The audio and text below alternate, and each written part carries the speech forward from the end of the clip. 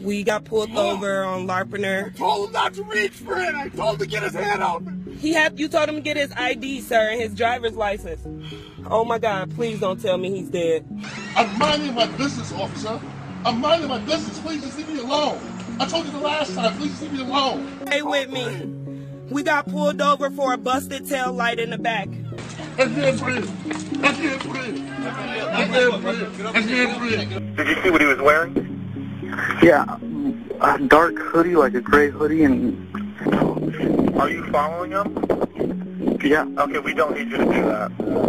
Exit now! Keep him up! Keep him up! Face Where's my daughter? You got my daughter? Face away from me and walk back. So the police said, please back up. And then they started shooting. And then the police just took me.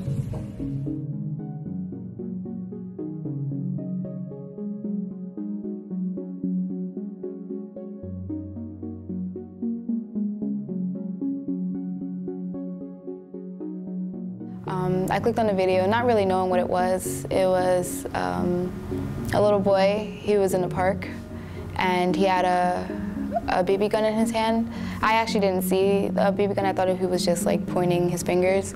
Um, a police patrol car came up, and He was shot to death by a rookie police officer who says that he thought it was real. I was really sad. I was actually um, crying. I went to my mom and you know I was asking her, "Hey, where's Malachi? That's my little brother. He was eight at the time." And uh, she's like, "I just sent him to the park." So I actually ran to the park to go get him, make sure he's like okay. He asked me like, "What, what am I doing here?" And you know, I just told him like, you know, you gotta be careful. Just like be mindful of what you're doing.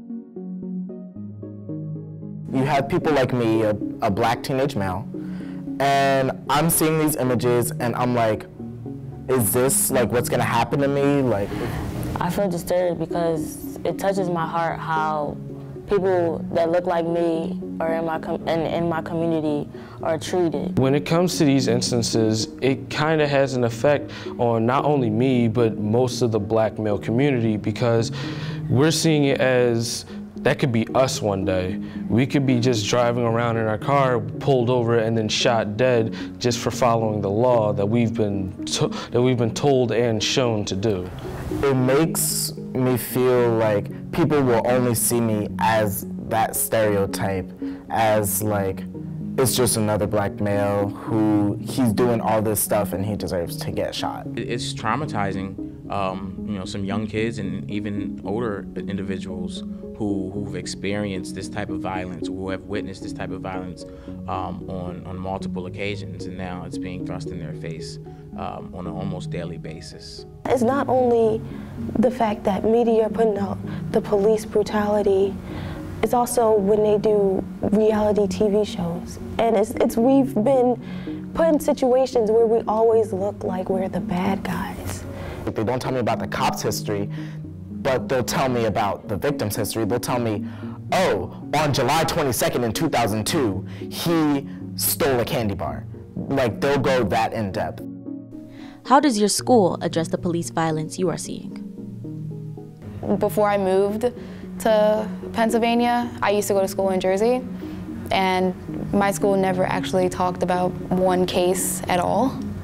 Yeah, so that was like kind of blinded. There's a lot of things that we don't talk about, but uh, that was actually blinded um, until I actually moved to Philadelphia, and then you started seeing more students being involved with like, you know, seeing people posting and sharing about it, and teachers in school actually being involved with, you know, uh, police brutality and all that. The teaching of black history, the studying of black history is is graphic. Just just going through the topics, you're talking about enslavement.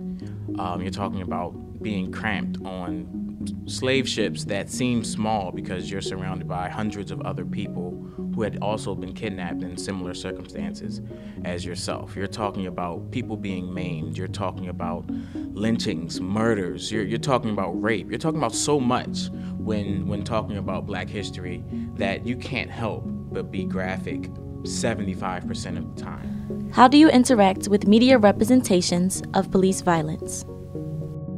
I get most of my resources about police brutality from social media.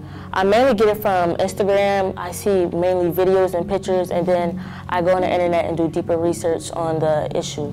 After Trayvon Martin and after all of the stories that came out afterwards and all of the stories of 2016, I did find myself saying like, this is too much. I can no longer take it because me personally, my emotional state was very like on edge, like on the edge of like breaking. And so I was like, I can't take it anymore. I'm gonna cut myself off. And so I turned off all my social media. I, I kind of know what's going on, but I really don't want to face the reality of, you know, this is going on. And I see it, but I don't really want to graphically see the video because it just, it doesn't make me feel better. I mean, it makes me know like what's going on, but it doesn't make me feel any better that it is happening. Since it's portrayed so much, I just kind of think, oh, it's just another person. Sometimes, like, it's just another person. Like, it matters, but it's just like they're gonna keep, police keep doing it, so it's just like, why like pay attention to it. You know, I'm concerned that people are being desensitized to it. They're just saying, "Oh, just another shooting," um, and they're not really acknowledging. Um, they're not really acknowledging that it's it's a huge problem that needs to be addressed. They're just sort of taking part in in the clickbaiting that occurs with these images. If you're just sharing and just sharing, what's actually you know going to happen like what are you actually going to do except for sharing it's you're spreading the word yes but you're really not really you're not really doing anything my concerns are that um, on social media same same forum um, people aren't going beyond simply looking at an image and sharing an image and you know that they're not you know get taking part in the movement that's that uh that they're being called to what are some positive outcomes of sharing images of police violence? It's helpful because it gives a, like people a chance to see what's really going on. These images are helpful because it makes people angry and they want to take action and it shows how police brutality is still real today. I think people have the right to actually see the truth of what is happening.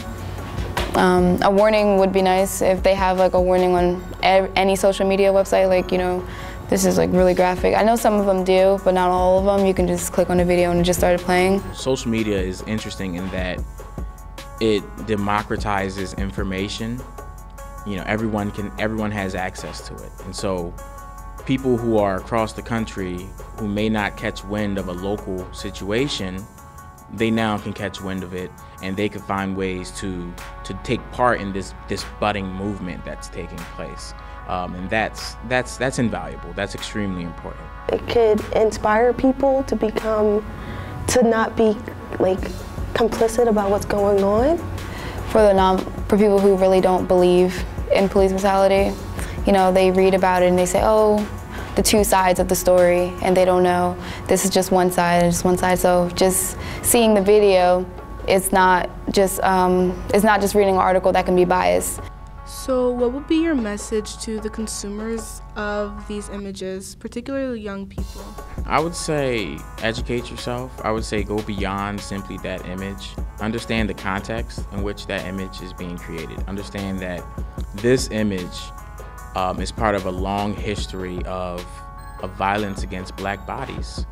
And that, you know, we alter, we, we must, we must. If you're coming across this, we must view it as an opportunity to to educate those who may not be aware of it um, using that image if you have to, but discussing the, the circumstances behind not just that particular incident, but the larger context, which is injustice in, in the American justice system. No justice, no peace. No racism, no peace. No justice, no peace. No no peace. No justice, no peace.